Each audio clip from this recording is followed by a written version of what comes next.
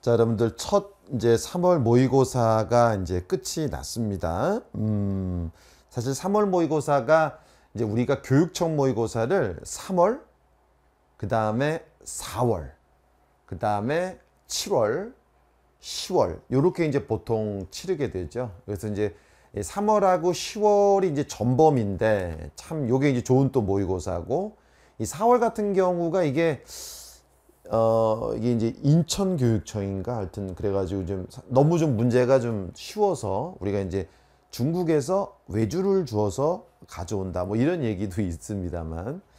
아무튼 3월이 그래서 전범일 대상으로 하고 다소 난도도 있는 편인데 이 세계 지리는 이번 3월이 어, 예년에 비해서는 좀 쉽지 않았나 생각을 들, 생각이 들고요. 6번, 6번이 생각보다 이렇게 자료를 통해서 좀 뭔가 좀 센스가 좀 있어야 푸는 그런 문제가 출제가 됐고 20번은 뭐, 뭐 어렵진 않지만 그래도 자료를 좀 꼼꼼히 봐야 되는 그런 문항이어서 다른 문항 대비로는 조금 어려움을 느끼지 않았나 싶습니다. 하여튼 뭐 전체적으로는 상당히 좀 무난한 시험이 아니었나 이렇게 생각이 듭니다. 자 그리고 다른 건 아니고요. 여러분들이 이 이제 이 해설을 듣는 자세가 되게 중요해요.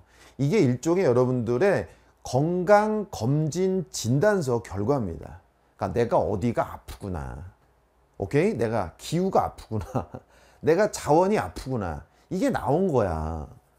근데 학생들이 시험을 치르고 나서 즉 건강 검진을 받고 나서 결과에 신경을 안 써요. 보고 싶지 않은 거야. 안 돼. 건강검진 보고 싶지 않죠. 그쵸? 봐야 됩니다. 그러니까 선생님 해설 강의를 통해서, 아, 내가 저 부분을 선생님이 저렇게 가르쳐 준 대로 못 풀었구나. 이거를, 이거를 이제 수정할 때, 그때 여러분 실력이 또 한 번 업그레이드가 되는 겁니다. 그러니까 이것을 그냥 그 메가 스터디가 의례적으로 제공하는 서비스다. 이렇게 생각하시면 안 돼요. 오케이? 음, 들어가 보도록 하겠습니다. 자, 1번 문제가 소위 말하는 이제 GIS 문제입니다. 요게 기억이 날 거예요. 요게 뭐냐면, 어, 우리는 이제 세계 지리에서 여러 지역을 배우죠. 그리고 지역이라는 것은 많은 지리 정보로 되어 있고, 그 우리는 그 지리 정보에 뭘 배웠습니까? 지리 정보의 종류 배웠고요. 공간 정보, 속성 정보, 관계 정보. 또 습득 방법으로 직접 조사, 간접 조사, 원격 탐사 배웠고요. 요거 이제 분석 방법으로 GIS를 배웠어요. GPS랑은 뭐 다르다 이걸 배웠는데 GIS 제일 많이 내는 게 얘예요. 이런 형태. 근데 사실 이거는 선생님이 뭐 도와드릴 게 없어요. 여러분들 이 이게 왜냐하면 이게 무슨 교과 과정을 바탕으로 한 게 아니잖아. 그냥 노가다죠, 노가다. 근데 다만 이제 여러분에게 드리고 싶은 말씀은 그래서 이제 선생님이 1년 동안 이 GIS 문제는 따로 해설은 하지 않아요. 시간이 좀, 좀 아까운 시간을 잡아먹기 때문에 다만 경향을 하나 알려드리면 이 문제처럼 바로 유럽연합 회원국이라는 이러한 지도 문제를 GIS에서 요즘에 병용합니다. 같이 내죠.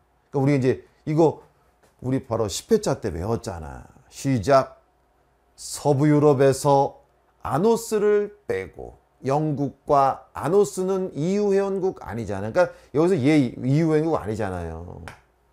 그죠? 그 다음에 이제 동부 유럽에서는 에라리 슬슬 몰키형 체포할까 루블 크로아티아. 요게 딱 나와줘야지. 아, 참고로 이 해설 강의는 선생님 강의를 듣는 학생을 대상으로 하고 있기 때문에 어, 선생님 강의를 듣지 않는 친구들은 이게 무슨 소리지 하는 부분이 있을 거예요. 그러니까 그거는 여러분들이 감안을 해서 들어두시기 바랍니다. 아무튼 최근 GIS 문제는 지도에 이런 위치 찾기를 결합하는 경향이 강하다. 그거는 꼭 기억을 해두시기 바랍니다. 선생님이 따로 뭐 이렇게 주어진 조건 세 가지에 이제 중첩 분석을 하는 노가다 작업은 시간이 아깝기 때문에 생략하는 것으로 하겠습니다. 아, 정답은 뭐 4번으로 나와 있고요.